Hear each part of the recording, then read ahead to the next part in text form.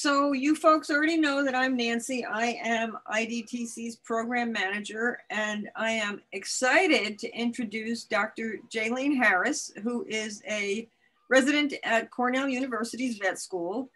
She is all about imaging, and I'm going to keep my part short and turn it over to her. And I'm going to pin you, Jay. So, okay. Um, my internet is slow, so I am going to turn off my video just so hopefully my slides don't lag behind, but um, I will pop back on when I'm done or if there's questions. So let me turn that off and then, oh, you have to enable screen sharing for me. Enable screen sharing. There you go. I'm hoping that that's going to allow you to do that. Hmm. Let me stop this because I did, I have to, I think stop, I think, hello, stop. Stop the share on the subject of slow. there we go. I think I need to. I think if you go to participants, uh, participants then, I need to make multiple invite. Row. Becky, you are my YouTube expert. So you can do two things. You can go open up participants. I did. It says just invite. Um, and you can't find Jay's name. And I think if you hover over my name. Yeah, hover over Jay's name and go to the right. It says more. Okay, where did you go, Jay? Just had you.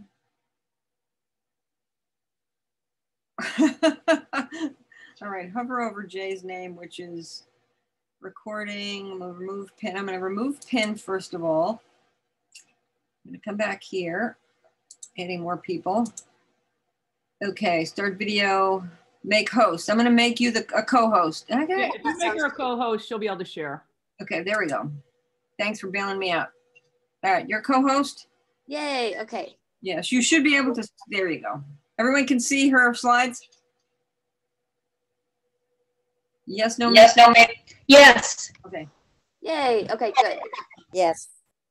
Okay, awesome. Well, yes, uh, I guess I can start. I hope most people are here.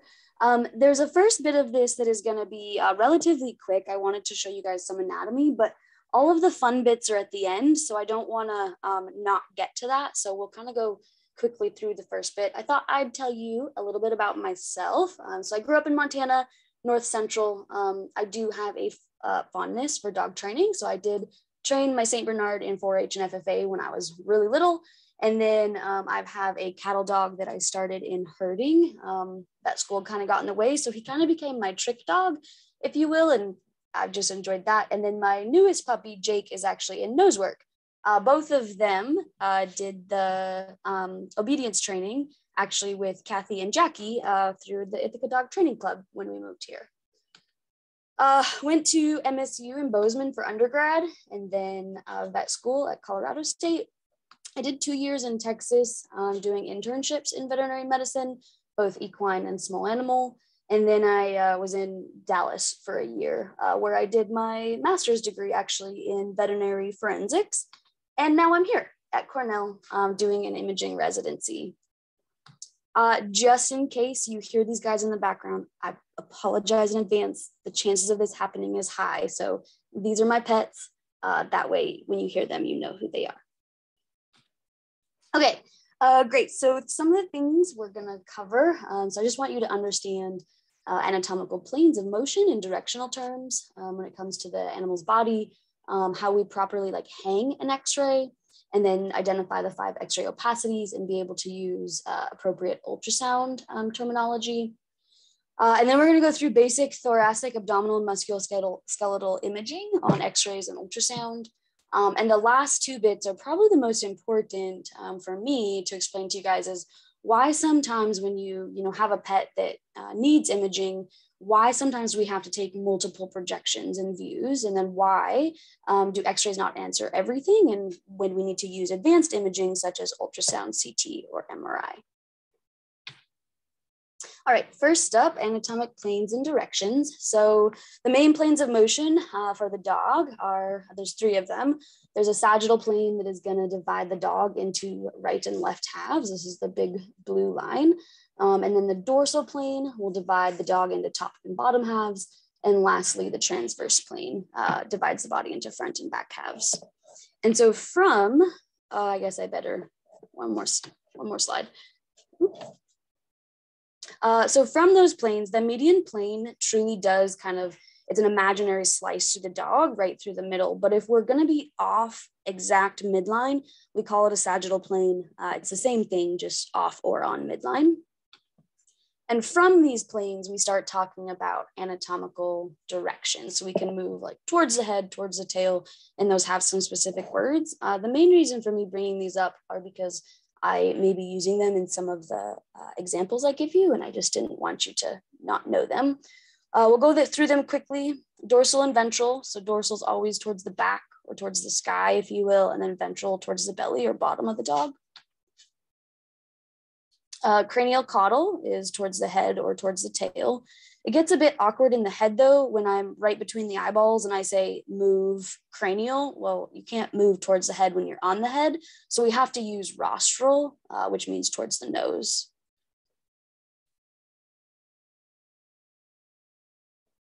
Uh, okay, cranial caudal still works until we get down uh, to the distal, to the bottom part of our legs. Um, and then we have to change terms.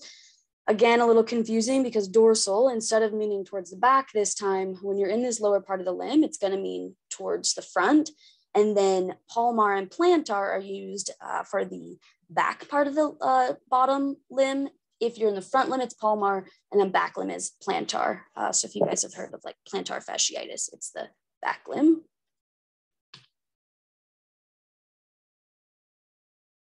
Uh, proximal distal, uh, this refers to the limbs really only. Uh, proximal just means more towards the body and distal is more towards the toes. So the elbow would be proximal to the foot. And then medial lateral. Um, so lateral is away from midline and medial is towards midline. So this dog, for example, the green part uh, next to the eye is the lateral canthus of the eye, and the blue is medial canthus of the eye. That's going to be the same over here. So medial is still towards the inside, and lateral is still towards the outside. Uh, this is my favorite one. Lastly, deep and superficial. So when we're talking about superficial structures, they're towards the outside of the body, and then deep is going to be like the inside. So we will talk a little bit about how we hang our images, and this is a pretty standard way to hang them um, really for throughout veterinary medicine and mostly for human medicine as well. Um, when we have an x-ray, the head of the patient is always gonna be up um, on our screen or towards the left. Uh, it's similar though when we're on the limbs of the dog. Um, the head is still going to be up, and the uh, I guess the head is still going to be towards the left. Um, so depending on how the dog is standing, um, this is the head's going to be up here. But also, in some joints, we can turn this as a normal standard projection. Uh, so if the dog was laying on his stomach, that's normal, or the dog can be standing head towards the right or towards the left. So we mainly do this um, to standardize how we hang things and how things um, appear. So our eyes are not tricked and there it's kind of a uniform process. Uh, and then when it comes to labeling in some of the images I'll show you later, uh, it can be confusing because we label the right side, but it's on the left of our screen. And we do this because if you look at the dog laying on his back, standing above him, his right limb is gonna be to our left. So that's why we label the right side on the left um, when we put the image up. And then lastly, if he's laying on his side like this uh, thorax and abdomen, um, we are going to label it what side he's laying on. So for example, this little guy is laying on his left side. We're going to label this as a left uh, lateral. Um, and then on our limbs, same thing. Uh, our marker is going to indicate which leg we are um, imaging and uh, which uh, that should go cranial or it should go so towards the head or it should go to the lateral aspect towards the outside. Uh, a few things to note in some of the examples I'll give you. Um, gas can redistribute, and the most obvious form of this is going to be in the stomach. Um, so there's parts to our stomach. Our little fundus is kind of right when the esophagus enters, and then you have the big body, and then you have your pylorus here. So whether or not the dog is laying on its right or left side, gas is going to redistribute through here because sometimes we'll have gas, sometimes we will have fluid, and sometimes we'll have a mixture. So for example, this is the stomach in this dog, and you can see it's basically the same shape as the um, image below. But when we lay the dog on its side, um, gas is going to redistribute up into the fundus on a right lateral and down into the pylorus on a left lateral. So if gas is here, and this is on the right side of the body, he lays on the other side, gas is going to rise up into this portion so left lateral, it rises into the pylorus. Okay, let's talk about some shades of gray on our um, images. We'll start first start off with um, x-rays or, or uh, radiographs. So there's five uh, radiographic opacities, we call them, or shades of gray. Uh, the first and most dark black on the image is gonna be air or gas. And you can see that because outside of the dog's body, it's all gas, or there's gas within the uh, colon and small intestine. Then we have fat, which is um, still dark, darker than the soft tissues of the leg, but uh, has a little bit of whiteness to it. Soft tissues, um, and then bone and mineral. So those are our five um, densities, if you will, or five colors. Um, and you can see, for example, like here's a piece of fat um, between the hind limb muscles. Okay, ultrasound's a bit different though. We don't have that exact uh, five opa or five uh, opacities. We describe something based on its appearance compared to something else. So um, we use the term echogenicity for this, and echogenicity is just going to be the amount of echoes or the amount of whiteness in our ultrasound image. So if it has no echoes, it's anechoic, and then you can go all the way up to hyperechoic. And then there's two in between ones, hypo and iso. So take, for example, this uh, box down here. We have four different nodules of different color against the background uh, tissue. This is anechoic, it's truly black. This is hypoechoic, it's not fully black, it has some echoes, but it is darker than the surrounding tissue. And then uh, isoechoic is pretty much the same. I mean, you can really not tell the margins of this nodule. And then hyperechoic, where it stands out and is more white. Um, so we use these, for example, this is a kidney, um, and this is how we tell uh, if there's disease within organs or if um, the entire organ is diseased. Uh, for example, this is liver and this is spleen. The liver normally should be hypoechoic to the spleen, but the liver is not hypoechoic in of, of itself. It has echogenicity. And then lastly, this top image is just to show you that some things can be smooth and homogeneous, or some things can be kind of stippled where it has hyper and hypoechoic regions, and that's heterogeneous. Uh, okay, uh, we'll get into some of the anatomy. So this I'll probably go relatively quickly through. Um, first, axial skeleton, which is basically the spine and the head. Uh, there are um, regions of our spine that we um, identify, and it's similar to humans. So this is a human uh, spine. You have cervical, which is the neck, um, thoracic, lumbar, uh, sacral, and then coccygeal. Uh, so one thing we do, each species has a different number of those certain vertebrae. So dogs have seven uh, cervical vertebrae, uh, 13 thoracic, seven lumbar, three sacral. And then obviously how long their tail is, depends on how many caudal vertebrae they have. Uh, I just thought I would highlight these. Fun fact, all species have seven cervical, cervical vertebrae, even the giraffe, uh, so that never changes. Um, all the thoracic vertebrae have ribs associated with them. So if it doesn't have a rib, it's not thoracic. This is also what makes up the withers. Uh, and then lumbar, this is the region of the loin. It's also the most common site for intervertebral disc disease in our well-known long-backed dogs, most notably the dachshund. Caudal uh, vertebra, again, these are what are going to be removed if you dock tails. Okay, uh, on the, uh, we're going to move to append appendicular skeleton, which is the limbs. Um, there is external anatomy or regions that we describe and talk about. So the shoulder is a joint, but it's also a region um, here. And then you have brachium, antebrachium, and manus in the front limb, where you have hip, thigh, crus, and pes in the back limb. And I just want to show you that these really do correlate to the joints um, internally, but those are external terms. Uh, oh yeah, and then I guess I added this little guy. If it's if you're talking about a horse, it's called the gaskin. So if you guys have heard of that, it's the same thing as the as the crus. Uh, thoracic limb, we'll go through these quickly. Um, first up, you have the scapula. Um, it's a blade-like bone, um, obviously, and this is just part of a uh, scapula. It's hard to see in some of our rads unless you really try to identify it. It's obviously difficult to image because it's very closely attached to the um, to the body. Humerus um, is the only bone of our brachium, um, and these are just what a humerus looks like on x-rays. Uh, your radius, um, so this is the smaller bone of the antebrachium, uh, but uh, in some species it is the main bone because the, the next bone, the ulna, is actually fused, but not in the dog. These two bones are very distinct. Um, so the ulna is basically what creates that point of the elbow. Um, and it's the, it's the major bone of our antebrachium. And then lastly, the manus, which includes um, all of the little bones of the wrist or carpus, and then all of the bones of the digits. Uh, so our joints, we have shoulder, elbow, knee, and then metacarpophalangeal. Um, these are just also some fancy names for them.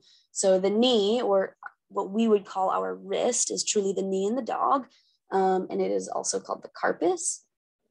Um, whereas the bottom joints are going to be metacarpophalangeal. It just means um, metacarpal are these bones and phalangeal bones are these bones. And so it's literally just identifying that that's the joint between the metacarpus and the phalangeal joints. And I bolded carpo there because it's the same term in the um, hind limb, as you'll see here coming up soon, but instead of carpo, we'll, we'll switch it to tarso. Okay, going to the pelvic limb. Uh, we have the pelvis, which is in and of itself made of multiple bones that all fuse together. Um, of note, our acetabulum, where our hip uh, joint attach, or our hip joint is, or our femur attaches, uh, is very important in some of our working dogs. Femur, the only bone of the thigh. Uh, tibia, the uh, largest bone of our crus. Uh, the fibula some, is usually present in dogs. Uh, some species it's absent, but it can be very, very small and uh, the dogs don't actually uh, truly need this bone for weight bearing. there's the little fibula. And so you can see in some of our x-rays, it really gets hidden um, by the tibia unless you have a certain view of it and then still it gets hidden just a bit. Uh, the pes, which literally means foot, includes the tarsus um, here, or hock if you're in a large animal species, um, and then all of those digits. So again, the joints, um, you have hip, uh, and all these joints are named based off of the bones. So coxo just means the coxa of the pelvis to femur. So coxofemoral, your stifle joint, um, hock, which is called the tar tarsus. And then again, this metatarsophalangeal is going to change for the hind limb. Okay, a bit about organs. Um, I just wanted to make note that there are many types of digestive systems out there in our animals. Dogs fall under this monogastric um, type. So they have one stomach versus a ruminant that has compartmentalized stomach and horses and rabbits that are hindgut fermenters. So their GI system is truly pretty straightforward. They have one stomach, they have you know a loop of small intestine, um, and really just a uh, small, rather puny colon compared to some others. And I just wanted to highlight for you how different these can be. If you look at the cecum of the horse here and compare that to the tiny little cecum of this dog, uh, truly the cecum doesn't do much for our, our little furry friends um, compared to the rumen in the cow, and then the spiral colon of the pig. So I just wanted to identify that that truly has a simple GI tract. Um, going on to heart, um, there are basically four chambers of the heart. You have the right and left sides, and then you identify the right. The top portion is the atrium, um, and the bottom portion is the ventricle. Um, the only other two things I'll point out that would be of importance is our tricuspid valve, um, which is the valve between our right atrium and ventri ventricle, and then our uh, mitral valve, which is between our left atrium and left ventricle. Okay, let's apply that at least to um, the x-rays. So uh, this is a normal, um, you know, top view, so our, our ventrodorsal view and our lateral view um, of a dog. And a lot of structures um, can actually be identified from uh, just these images. It looks like a lot of black and white, but truly, um, I've highlighted quite a few of those structures and, and not even all of them that we can see. So we have our windpipe, our trachea um, coming down here. And I'm going to go back because that trachea is filled with gas and we can easily identify that. Whereas our esophagus, um, since it is a very small structure and um, kind of blends in with some of these other structures, we don't actually see him unless he's abnormal. Uh, we do see uh, certain lymph nodes um, throughout the um, thorax or chest, um, obviously our big heart, uh, leaving from the heart, we have a caudal vena cava, which takes um, blood back to the heart from the rest of the body. And then our diaphragm, which separates uh, our thorax from our abdomen. Um, and then just poking in here, we have some liver and stomach, which I've highlighted over here as well. Oh, I forgot the lungs. Obviously, the lungs are very important. They are the big black structure under our rib cage. Uh, within the heart, though, we uh, can actually further identify parts of the heart. So um, I'm not going to go through all of these, but I just wanted to point out that truly I, I can say if there's, you know, right heart, right-sided or right atrial enlargement based on this area being enlarged or not, and then similarly here on the lateral. So nothing that uh, truly I want you guys to memorize, but just showing that uh, the heart of itself is a complex structure just on uh, x-rays alone. Uh, moving to abdomen, um, there's also a lot of black and white that gets a bit confusing, but there are structures um, that we can identify. Um, and I'll go back and forth here. The liver is going to be the most cranial um, in the abdomen next to the diaphragm, followed by stomach. Um, and we talked about gas in the stomach can kind of redistribute. Um, kidneys get a bit confusing because if you look in this view, they're really hidden. A lot of times we can see left kidney, on x-ray, we can't always see this right kidney though, because it's hidden by a lot of the um, other GI, but we can see them fairly well on our lateral image. Uh, small intestine is all over the place. Typically, though, the majority of it lives on the right side of the abdomen. It can live over on the left, but usually on the right. Um, spleen, uh, you're only really going to see it, unless it's enlarged, only see it here on the, or the head of the spleen on the VD view. But on the lateral view, you're going to see it in the um, bottom part of the abdomen. And this is the splenic tail. So we don't get a really good look at the spleen on x-rays, um, but we can look at the head and tail to see if there's generalized um, enlargement of it. Uh, lastly, colon and bladder. Um, colon is this kind of question mark shaped um, structure, again, kind of overlying everything. Uh, I just wanted to show you the difference of a cat and a dog. So let's go back. Here's the dog. You can still see some of those structures I pointed out, but not really well defined and not very clearly. I just wanted to show you the difference in some of our smaller patients, like our chihuahuas and our cats. We actually can see these things quite clearly because they have quite a bit of fat in their abdomen to help those things stand out. Okay, move into ultrasound. Um, this is, I just wanted to get you guys a couple pictures so you can see what some structures look like. Um, this is liver. Um, it is normally kind of stippled like this with little white flecks, and then these are our vessels.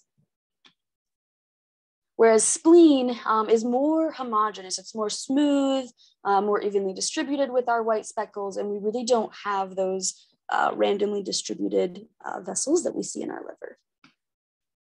Kidney, um, pretty identifiable. Um, it has this outer margin, the cortex, and then this inner dark margin, the medulla. Um, So this guy, this guy usually stands out pretty good. Uh, another fun fact, so dog kidneys, um, the kidney bean, it actually looks like a kidney bean shape that we would think of. Uh, however, there are species uh, variances like the cow that's like a grape-like cluster and then the horse actually has a, their right kidney is shaped like a heart. So dog kidneys truly are both of them kidney bean shaped. Um, here's bladder. So bladder should have um, anechoic urine within it. And so that's what basically this is, um, is urine. Um, our little adrenal glands, um, they also look like a little peanut. Um, they live cranial to our kidney.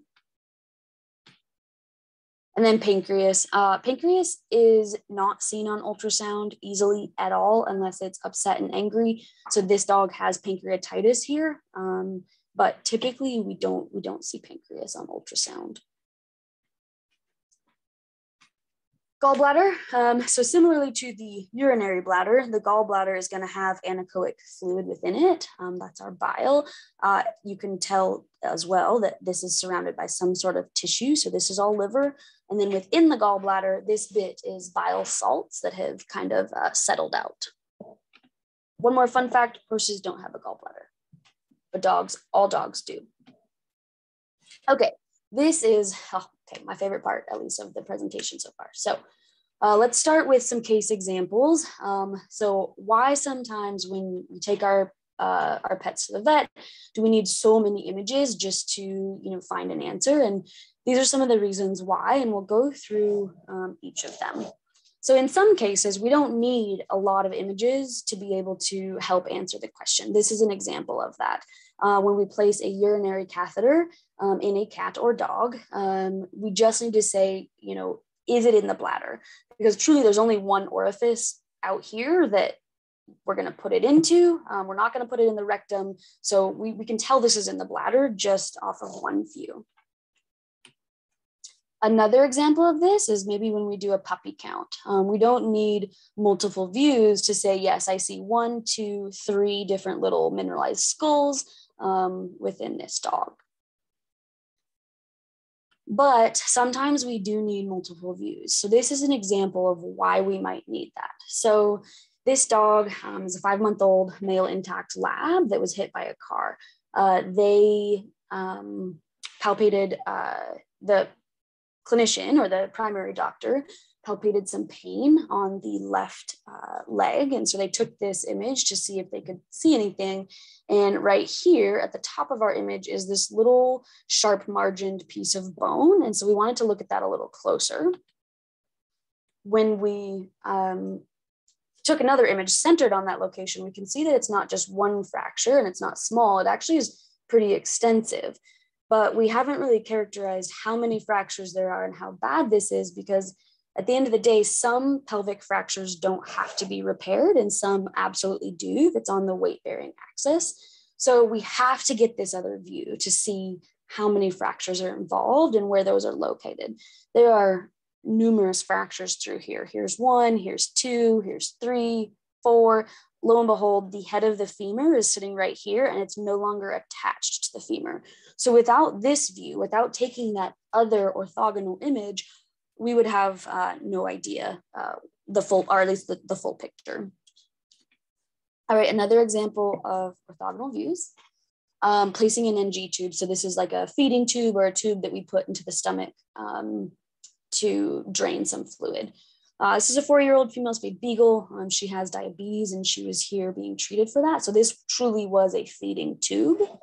Um, I want to point out that yes, we see the trachea and we see um, the white feeding tube here, but up in the front end, we have one orifice that can branch out into two different structures, right? The esophagus or the trachea. And we really need to identify, especially if we're putting food down this thing, where it's at, because otherwise um, we could put food into the lungs and, and that's not good.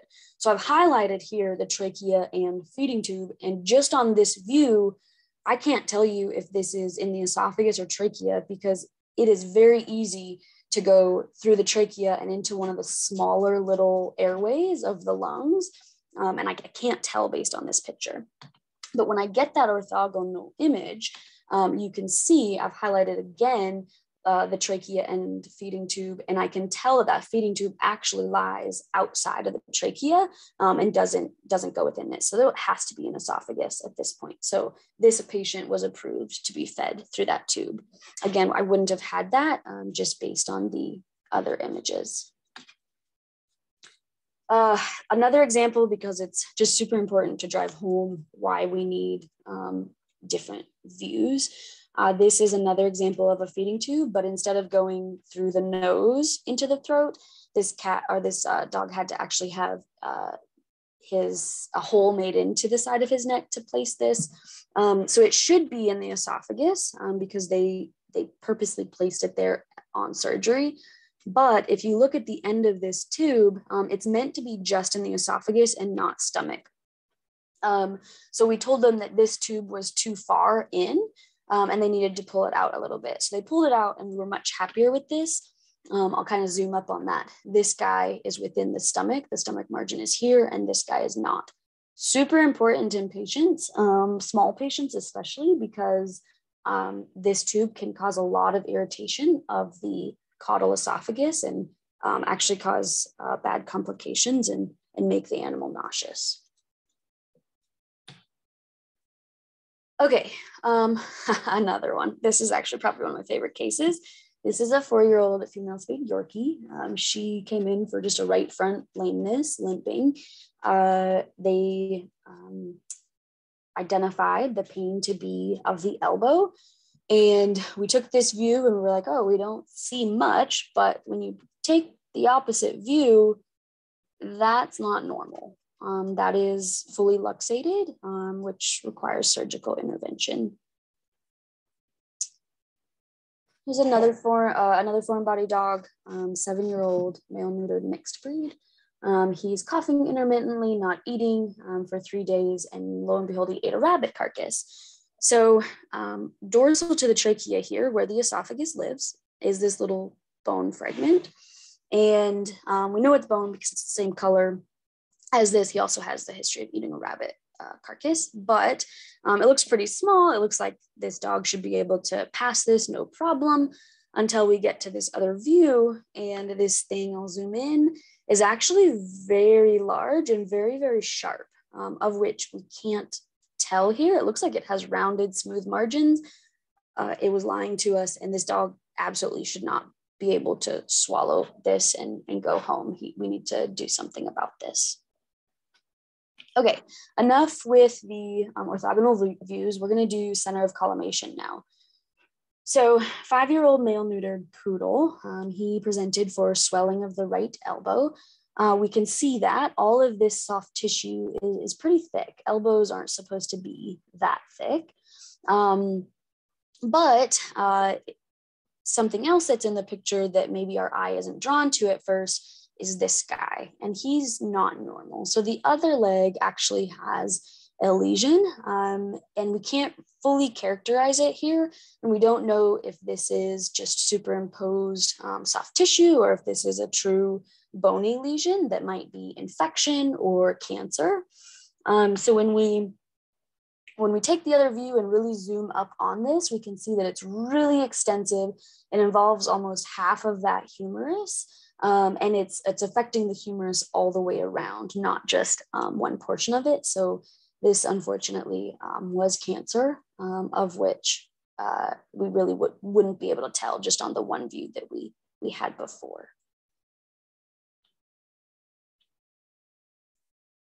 Okay, um, feeding tube. Uh, one more. Um, this case is just really to drive home kind of what I've been talking about so far. This is a one-year-old female spayed Boston Terrier. Um, she had a allergic reaction, a very severe allergic reaction uh, called anaphylaxis. Um, and she, this tube was placed to feed her. And you would think that this, you know, it kind of lies within the trachea, but then it really extends back into the stomach here. I don't have any orthogonal views because this was the only view given to the um, radiologist at that time. Uh, he said, Yep, it's in the stomach, good to go, start feeding. This tube was actually uh, within the lungs, uh, believe it or not. So this uh, patient accidentally was fed uh, food into the lungs, which was not good. So just to drive home the point that it can really look certain ways, but um, that just to just to really look out for pet and patient safety, that we need multiple multiple views to really answer the questions. Okay, moving on to patient size. Uh, for example, this is three different patients. There's a little bird, a little puppy, and then a, a another smaller dog, I think maybe Chihuahua. Um, all of these patients, you can pretty much image the whole body um, in just you know one or two images. He, he fits within our X-ray beam, but a patient like this um, does not fit in our X-ray beam. Uh, this is how many images we actually had to take just to get one study of this dog's abdomen. Um, in making sure that we are overlapping and not missing something. So um, our bigger dogs, we're going to need more views than than our smaller dogs, and so um, that can that can be pretty pricey sometimes. I didn't have a good dog example for this, um, but I think this horse is going to drive it home. Um, it, it, happens again in our dogs, but our, our dogs are such like they're smaller patients obviously so we can typically um, try to rotate them and, and, see what we need and not have to do so many additional views um, this horse though there's two images here of his knee or his carpus and one is from the side which is going to be this view and one is from the front. So our x-ray beam is shooting from the front of him going in the dorsal aspect of his leg out the palmar aspect of his leg um, and that's this view so just from these views, at first, I, you know, I, I don't really see much. Um, sure, there's a little bit of soft tissue swelling here, but the bones truly look okay. But when I shoot from an angle here and here in these two views, I can actually start to pick out that something is majorly wrong. And it's, it's this little bit on, on this bone. We can see um, a pretty traumatic fracture that extends all the way through that bone with a little chip um, fragment. And so this horse definitely needed surgery. Without these oblique views, um, we, we wouldn't have been able to see that and diagnose it. So even though our standard views are these ones, um, sometimes we have to get just a little bit creative um, and take more.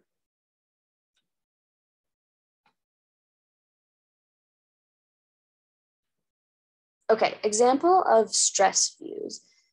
So this is a one-year-old female intact coonhound. Um, she presented for limping on the left hind. Um, these are our standard views for our stifle joint and our hock joint.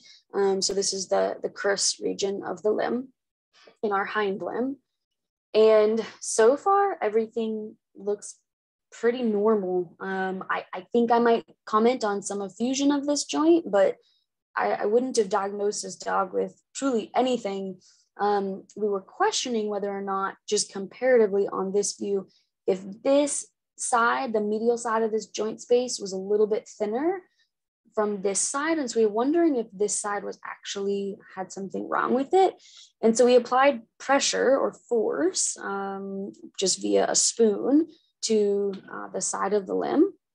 So the arrow is explaining where the uh, force was put during the x-ray. And so you can see force was placed on both sides to kind of try to open up that joint space. Here is a normal um, view for comparison. And um, we can see that that joint space is actually severely widened uh, when we apply force this way compared to this side. Whereas when we apply the force the opposite direction, it's really not. So this dog has instability um, of his the lateral aspect of his stifle.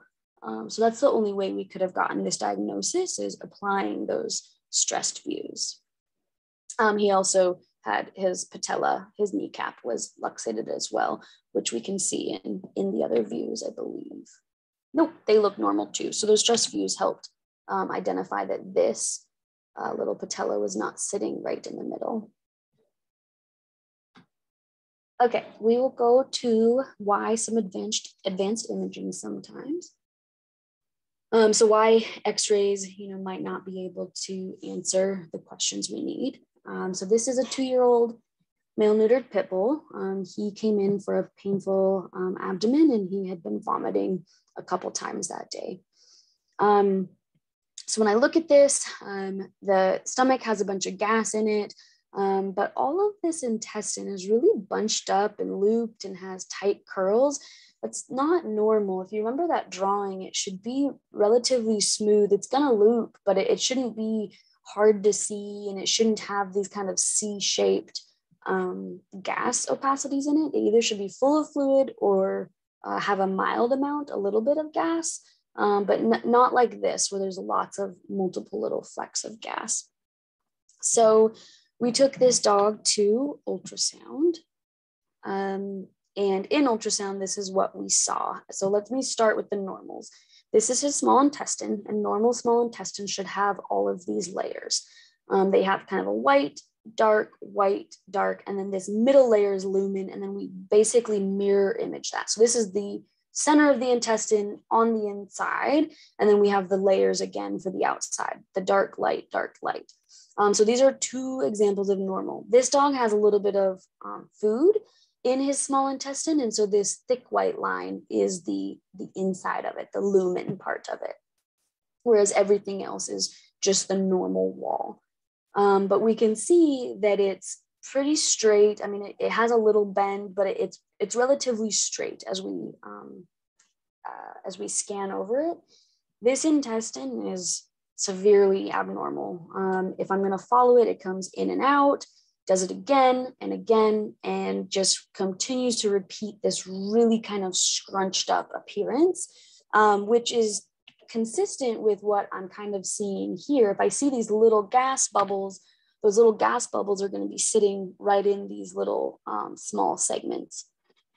Um, but we can fully characterize it here and say, nope, it's not a mass in the abdomen, it's just the intestine or, or abnormally shaped.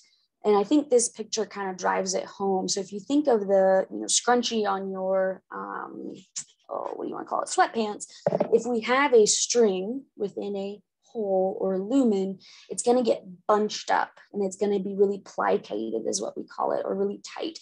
And that's exactly what this small intestine is doing. Here's a live example of, of how kind of curvy and plicated this intestine can be. Um, so that dog, uh, based on ultrasound, was diagnosed with a linear foreign body. So not just a ball or toy, but a piece of string. Um, and we can see this string. Well, this is an example. Um, but we can see the linear string in this case. When we go review the case that the actual dog that we were looking at, um, we can kind of see a linear structure here, but it's not always that clear. And we certainly would not be able to see, you know, this structure. We have evidence that something's abnormal and our ultrasound supports, you know, what the x-rays are showing, but those x-rays um, didn't necessarily diagnose this linear foreign body. Um, and what happens most of the time is this is stomach um, coming into the small intestine, and a bunch of string usually gets caught up in the um, pylorus there, in the uh, kind of last part of the stomach. And when that string follows the small intestine, well, that small intestine is going to try to move and try to move things through it, right?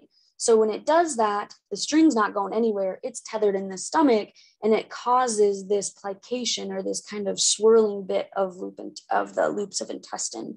So truly ultrasound was what um, was what diagnosed this uh, linear foreign body in this dog. Okay, um, so an example of why we might need CT um, this is a two-year-old female spayed um, mastiff. She came in for um, swelling of her neck, mostly on the left side. Um, she does have a history of eating an entire chicken carcass within the last couple days. So what I see here is I, I see this soft tissue swelling, um, and it actually extends from kind of the jaw all the way down the neck. Um, the trachea is here in black with all the gas inside of it. But this other stippled gas material, that's not in the trachea. That's actually um, what we presume to be uh, potentially esophagus or just within the tissues of the neck. Um, looking at it on this view, it follows a little bit too far lateral for where esophagus should sit. Esophagus should really live next to um, trachea, but we can't say for, for sure. So unfortunately, this dog actually didn't have a CT but this is one that we really needed it in um, because this ended up being an abscess um, of the neck, and th- this truly wasn't in esophagus. So we have reason to believe that it could be, but we don't know, um, and we don't know the extent of it. So we, we really wish we had a CT of this dog. It would have been awesome um, because if there's um, involvement of the esophagus, um, unfortunately, that's a, a, pretty poor prognosis because the esophagus doesn't um, handle surgery very well. But this helps um, kind of decide the path of treatment, what kind of medicines it needs to be on. Does it need to go to surgery, or is it you know something in just the esophagus that uh, that we could do just treat medically instead of going to surgery? So sorry, I don't have an example of this CT because um, we didn't do one, but this is an example of, of why we need that. I have a few more uh, CT examples though for you. So this dog we saw earlier, right? This was that um, pelvic fracture uh, where we actually had lots more fractures. So we can see the extent of it now, but we don't know um, if there's any soft tissue damage, um, if there's any bleeding, hematoma, um, what direction these things are displaced. And so, truly, a lot of times for CT, we actually need um, that imaging to identify our surgical plan and, and where to go from there. So, this dog did get a CT. Um, these are the images uh, of the CT, and then we did a 3D reconstruction um, just so we could see, and this really helps us uh, plan uh, surgery as well. So in these images, I just took a couple to show you how many um, shards and fractures of, of that pelvis there are um, throughout all of this. Um, this is just a side view. So this is looking at the dog, dog top down, just like this image is, and this is from the side. Uh, but what we did not see on x-rays, me go back, um, this hip looks like it's in place and like it's uh, really well adhered and it's not subluxated or it's not popped out. When we do CT, that's not the story. This, the head of the femur is not sitting within this acetabulum, within that hip joint. Um, and the x rays did not show us that. So this also helped identify that there was abnormality um, in the uh, right hip as well.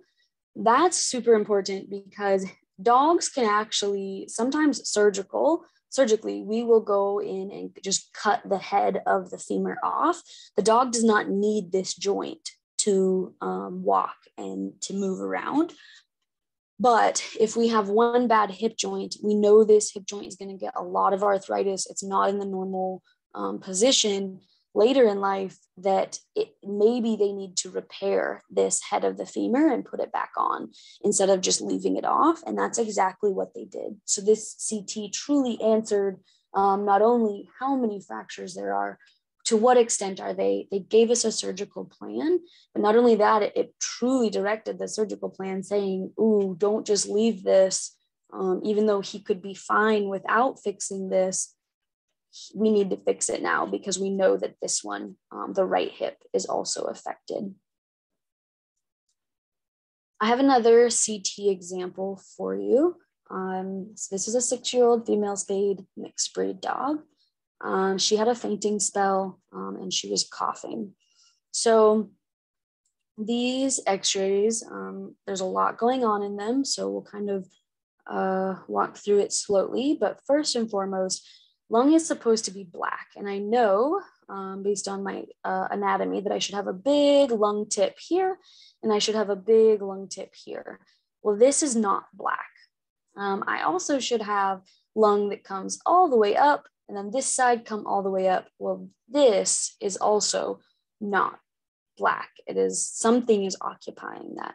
So just to show you an example of what normal looks like, um, these bits uh, the lung, either the lungs are filled with something or something is pushing the lungs out of the way.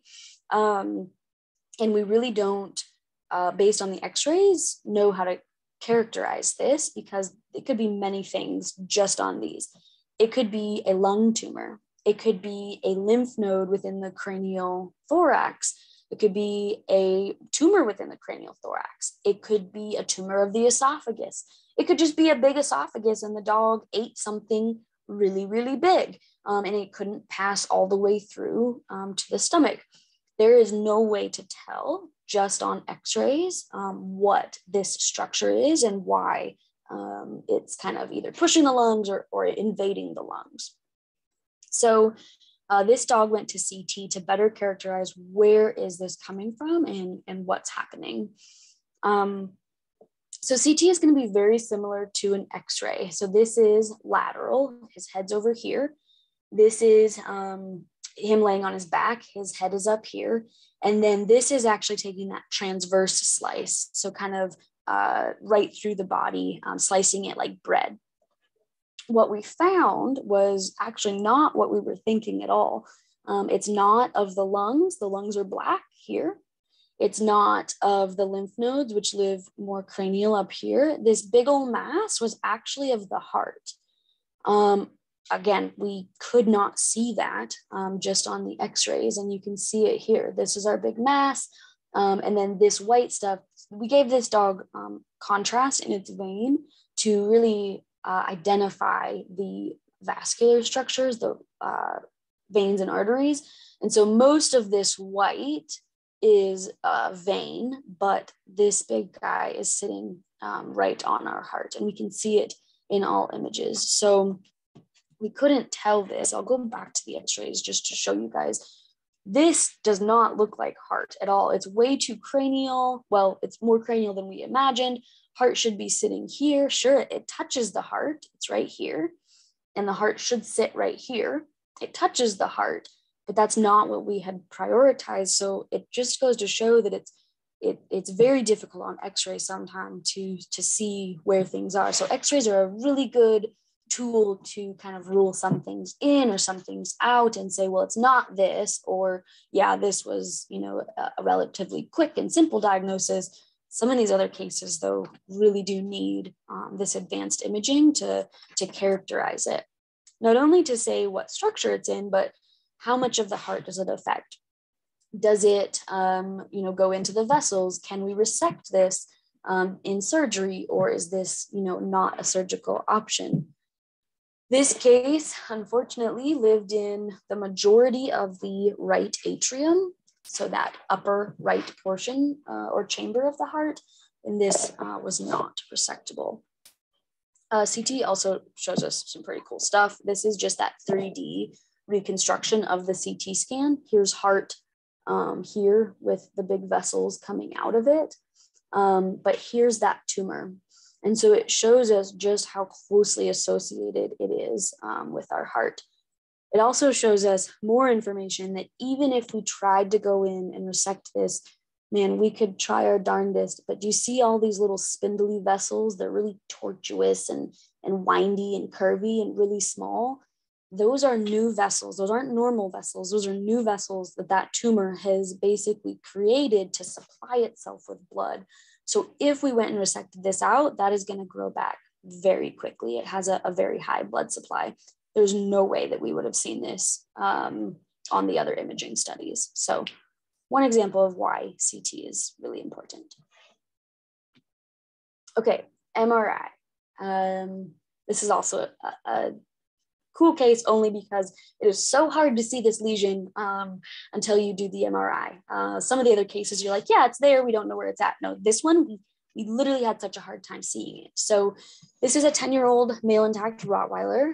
He had a acute, meaning short onset um, of not being able um, to walk or, or, walking weakly. So it was kind of an intermix. Um, he, he didn't want to walk, but when we got him up, he could very weakly do it with support. Um, the neurology team uh, put a localization of between the third thoracic and the third lumbar uh, vertebra. So um, T3 through L3 and gave him a uh, basically a disease of the spinal cord, which is what myelopathy means. So when we look, um, the last part of the rib is here. Dogs have 13 ribs, so I know this is the 13th thoracic vertebra. Dogs also have seven lumbar vertebrae. So one, two, three, four, five, six, seven. Yep. Okay. He's got seven. He's good to go. Um, some dogs have eight. Uh, it's just it, he was born that way, but we like to count and make sure.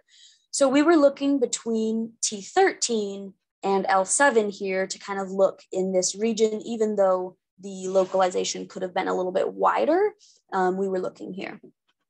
Um, I will highlight the abnormalities for you um, and you'll kind of be able to see them uh, on the x-ray. So we're looking at bone and I've changed the uh, contrast of these images to help identify it, but it's within this um, L3, the third lumbar vertebra um, on both views that we can see. And I, I, gave us a vertebra in front of and behind the lesion uh, in, well, I guess in this one, and then a vertebra in front of the lesion here. So we can see this dark black um, opacity uh, that is abnormal compared to the other vertebra here. Super subtle. I'm gonna go back and just show you like it is here, but man, is that difficult to see. Even, I mean, even experts would say that this is a difficult case to see just on x-rays. Um, but we did identify it, fortunately. Um, also to note that this side is not the same as this side, right? This is more white, it's more opaque. So something is happening on the right side of this uh, third lumbar vertebra. When we go to MRI, um, we the same same vertebra L3. Um, this is the same view as the X-ray up top. Um, this is the same view as the other X-ray that we had. So looking at the dog um, laying on his back, laying on his side, and then this is that transverse view again, kind of slicing the dog like bread, if you will. Um, and what we do see is that within the spinal cord there is this um, lesion, and so we don't know if this is hematoma, blood clot, if it is a tumor, and if it is tumor, is this tumor of spinal cord? Is this tumor of bone? Uh, we, we just don't know um, based on just this. But when we start looking at these other views, it's not just, oh yeah, here's the tumor. Man, it really expands out into the tissues, which out here is muscle. And when we look on this view, it involves the spinal cord, it involves the vertebra body, the vertebra itself, the body of the vertebra, and it's starting to invade into that muscle. So this muscle is abnormal compared to this muscle. Um, closer, obviously, it's more abnormal the closer we get to that um, lesion, but there is no way we could have seen this without MRI. Um, going back to the RADS real quick, you just see that canal the spine, the spinal cord canal. You don't see the spinal cord, the CSF fluid.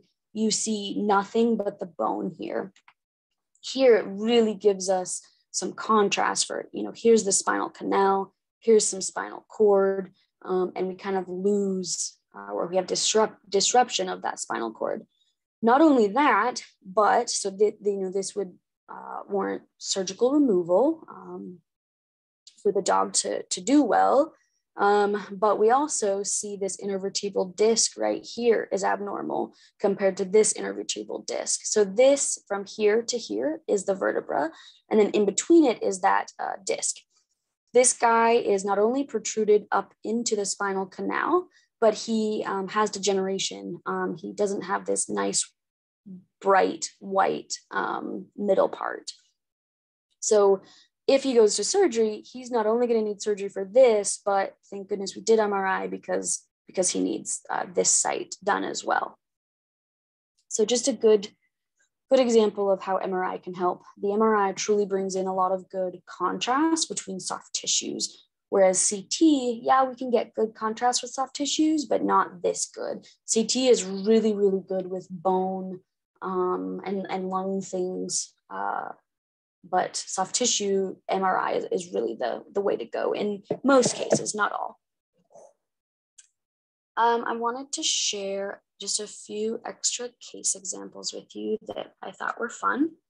Um, so this, I'm gonna tell you right now, there's a foreign body, meaning he ate like a toy or something within his stomach. Um, gastric just means stomach. Um, this is a three-year-old male neutered mixed breed dog. He has vomited five times within the last day. So I've really changed the contrast on this image to try to point um, something out. You may not believe me, but but this little structure truly is um, something within his stomach that's not supposed to be there. When we get the orthogonal image, we can start to see that structure just a little bit better. And lo and behold, that was a did it load? Oh, hold on. There it is there. Lo and behold, that's a pacifier. And you can totally see it. I think that case is so cool. Um, okay, next case. So I, have talked about why is ultrasound important, why is CT important, why is MRI important, but I haven't really talked about why RADs are important. I've kind of said like, yeah, they're they're a good way to start and they're a good way to kind of screen for certain diseases, but sometimes we we really truly could answer a lot of questions with them, and this is what that case is going to show you. Um, so this is a four-year-old female spayed greyhound. Um, she had pleural effusion, meaning fluid within her chest cavity um, and she has been vomiting and, and pretty lethargic. Um, the doctor that referred this to the radiology team was really concerned for a torsion of the spleen or like the, the spleen twisting upon itself and cutting off blood supply. So um, she requested that one of my resident mates come in and ultrasound it. So these are just some ultrasound images. We see gallbladder, normal. Liver, we put blood flow on everything. This is what this color, it's color Doppler. So the red and blues just indicate blood flow within organs. And we were making sure that there was no torsion of these organs, no, no twisting of them. Um, so the liver is normal, it has a good blood supply. Here's stomach. It, it it's really awkward because you're like, where, Jay? Yeah, that's right. Uh, it's, it's right here. Uh, everything else below this, you can't read. It's artifact from the gas that's within the stomach. So this little guy, similar to that small intestine I showed you earlier, has wall layering, just like the small intestine, but everything deep to that you cannot see. It is all artifacts from gas. Um, this this is you can't tell anything from this uh, por- portion of this uh, ultrasound image. Then we have spleen. Um, the spleen does have a nice vessel coming into it with good blood flow, so there's no splenic torsion here's kidney. We put color on kidney and lo and behold, it has a good blood flow. Um, bladder just to complete, you know, the, all the organs. But then over by the spleen, so this is still spleen here with one of its big vessels. Um, over by the spleen, there's this little pocket of fluid, this guy. Um, my resident mate sampled this little pocket of fluid with um, a needle. And what came back on the cytology report was a really severe bacterial infection of the dog's abdomen. Um, so this was very concerning for, for something, whether that's, you know, rupture of the GI tract. When that GI tract, if it has a, let's, for example, foreign body and it ruptures that GI tract, that bacteria and the food that's within the GI can leak out into the abdomen and cause really severe um, inflammation and make the dog really sick, life threatening sick. So this was not good because we had no idea why. Uh, so we already did ultrasound. Well, I, let's go to CT and see what that shows us, right? Because CT is the way to go. Okay, well, on CT, we see this structure. These are transverse images slicing the dog like bread. This is a, um, a ventral dorsal image. So looking at the dog laying on his back. So head up here. This is a CT image of the dog laying on its side. So uh, head over here. This is just heart and lungs. So you have diaphragm and then abdomen. Uh, similar here. So here, this does look weird, but this is actually just normal lung. Uh, diaphragm is here. So the abdomen extends from here back. Okay, we have this big structure that we can see. It's really cavitated. It has bits of fluid, gas, uh, soft tissue material, um, it, it's really got all of these different pieces of material within it. Um, and it lives um, kind of up by the, where'd I go? Here's liver. It lives up by the liver um, in the cranial part of the abdomen um, in all views. So this was diagnosed as an abscess of the liver, which explains why we had bacteria and really bad inflammation in our abdomen. Um, but uh, you know, we say, well, shouldn't we have seen this on ultrasound? My answer is no. So no matter where you put this ultrasound probe, doesn't matter how you look at it, this structure is going to be covered up by the gas within the stomach. And that's what we did not see in this ultrasound image. So it wasn't a fact that, you know, we couldn't find the problem. It was a fact that our GI tract had a bunch of gas within it and we simply could not get to it with the modality, with the ultrasound that we chose. Um, so ultrasound, you could argue, was in this case, was not the first step that should have been taken. Although for the suspected diagnosis of a splenic torsion, that was a, a great idea to do. Go to ultrasound, right? Well, um, if we would have taken some rads it first, some x-rays first, we may have seen here in the liver these little stipples of gas. And really up in the liver, the stomach sits back here. I'll kind of draw the line of the stomach for you. Um, there's not going to be gas in that liver unless you have um, something like an abscess. Uh, the gallbladder really should not have gas in it. Here's some more gas. Um, and then here's some gas.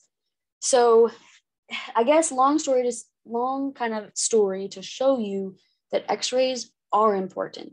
I, I talked a lot about why we might need other things, but you know, when we recommend an x-ray first, um, sometimes there's a reason to that. And, and x-rays could have answered this dog's questions instead of doing ultrasound and then CT. That's what I got for you.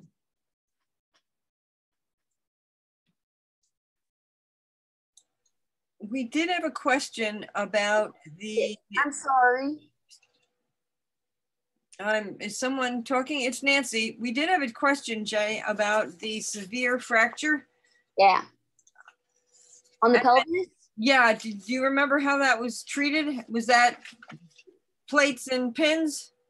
Yep. Um, so not all of these fractures um, were fixed. Let me go up to the pelvis image and I'll and I'll kind of go back and forth here. Oh, sorry, too far. So that head of the femur, and I'm sorry I missed that question when it popped up. I wasn't looking over there. Um, hold on. Here it is. Okay, so the the way we decide if we're going to fix pelvic pelvic fractures is whether or not when the dog bears weight is that piece of bone going to be bearing the weight of the dog? And the answer is not all of the pelvis actually does that. So uh, the weight, you know, comes up through the foot, up through the tibia, femur. So the acetabulum here in um, purple bears has the most weight bearing axis here. So if the acetabulum is fractured, we have to repair that.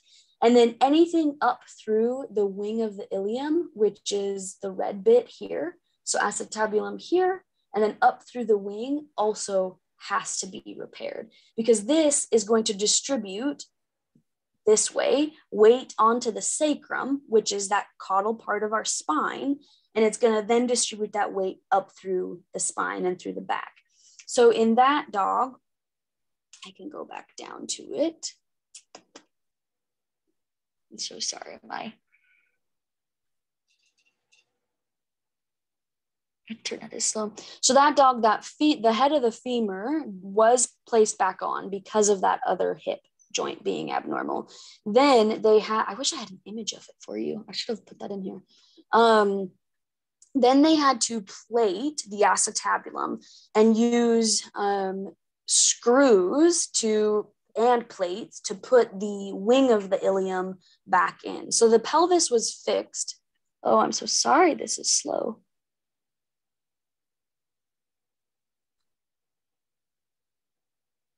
Uh, the pelvis was fixed in multiple places, but not all fractures were because there it is, because they were not weight bearing axes. So this was all fixed here.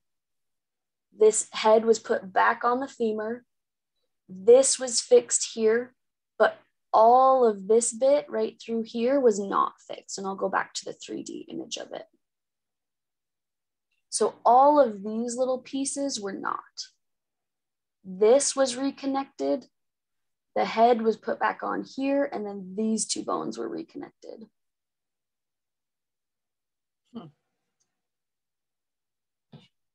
Fascinating. Yeah. The little pieces they will i yeah just saw your text kathy. Um all the little pieces will actually form uh, when bone is upset and broken it forms its own little bone to reconnect pieces. Um, sometimes that's just cartilage that forms but most of the time especially like in dogs and in the pelvis it's going to form bone and be one big kind of mess of bone to restabilize all of itself. So that if we don't fix this and I actually had a case that would have been a good case to use. I actually had a case with a chronic, like many years ago, pelvic fracture that was never repaired. And if you can imagine this pelvis putting together a lot of bone to stabilize this on its own, the canal here is really narrowed.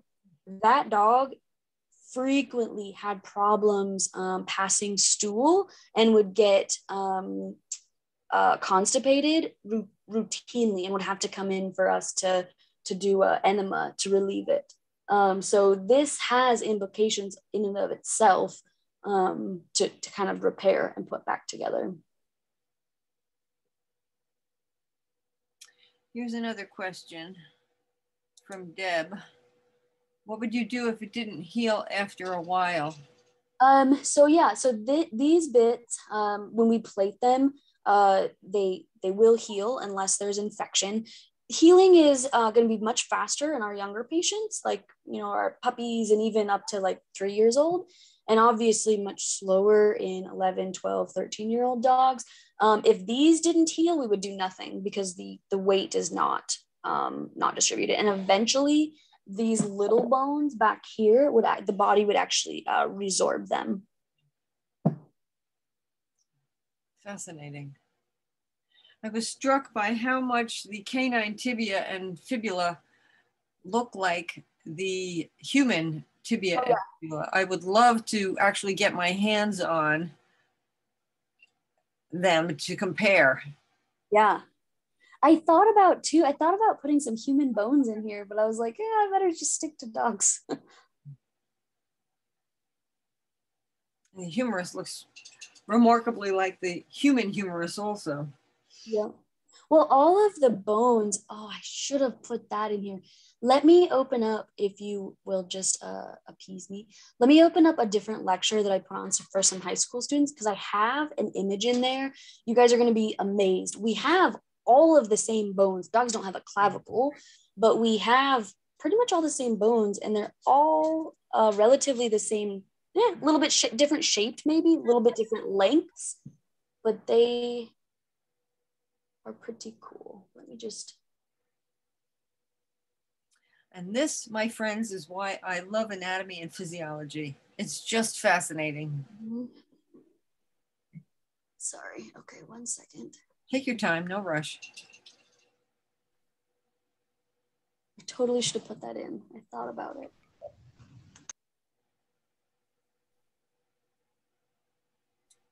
Oh, there's another chat that I can't see. Does that? I'll check it out. That, yeah, I thought the anatomy was very similar. Human to dog, yep. That's from Becky Robinson, who is a PT. She's a, oh, did they send us an image? Uh, no, that that was her comment. That. that okay, it's loading. If, that's not the right thing. Come on my internet is so stinking slow. I'm sorry. There you go. It's coming up. Okay. Vet basics. Yep. yep. Trying to get it up for you guys. This is what I deal with. Come on. Come on. Time to upgrade, Jay. Oh, I actually just got an email today saying that they were upgrading my thing. Uh, for five dollars extra a month. And i was like please do please do that. Oh. double the speed man. This is just ridiculous. Come on.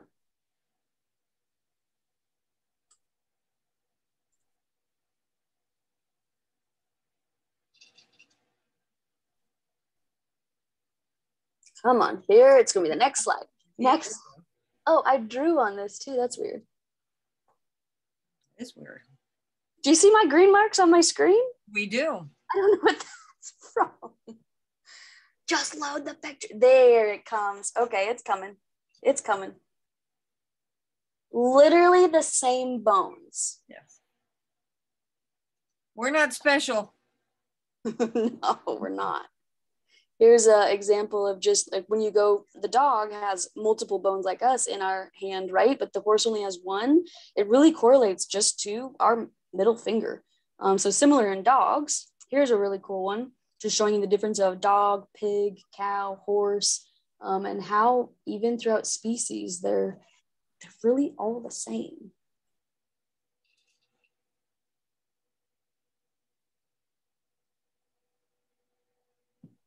Oh yeah, pelvis is yes, accurate. There's actually my uh, what the the comment was uh, pelvis is completely different bipedal and uh, quadrupedal. Uh, my professor actually took an image of my dog laying on the CT machine. Their head, the head is also different, right? Like we stand straight up on our two hind limbs, and our face faces forward. Well, the dog stands down on all four limbs. Their face doesn't face towards the ground like ours would if we did that. It faces forward still. And so there's a really pretty pretty cool image that we have of a human and my dog sitting in the CT scanner and and how that is is slightly different. Hmm. I have a question um, about some of the terminology you were talking about. Yeah. Um, so I thought, like in a horse, the carpus or this is what I learned, and it might be different now. In a horse, the carpus is called the knee. Yep. Uh, but in dogs, I've always called the carpus the wrist, and I call the stifle the knee. Has that changed? Nope. That is exactly right. So the only thing I would say that changed is we no longer call the dog the wrist. The wrist is truly just a human term. But if you said wrist, everyone would know what you're talking about. Um, so it's fine to call it the wrist, but yes, the dog knee is the stifle. It is in the hind limb. Um, but the horse knee is the carpus in the front limb. So this is the horse knee. This is the dog knee. That is accurate. So what do they call the stifle in a horse? The stifle. Okay. okay. Anything else, folks? Fascinating. Thank you very much, Jenny. Yeah, I hope you guys learned something. I had a lot of fun putting it together, so I hope it was I hope it was good. It was wonderful. I just want to know what happened to all those dogs. I know. I know. Uh, I thought about putting their end story in, but some of them are not so happy. So I, I thought I wouldn't do that. Some of them are good, but yeah. yeah. It's fascinating. And thank you so much. Yeah, you're welcome. Great, great, great program. Excellent, folks. Anything else, guys, or we'll cut we'll cut uh, Jay loose.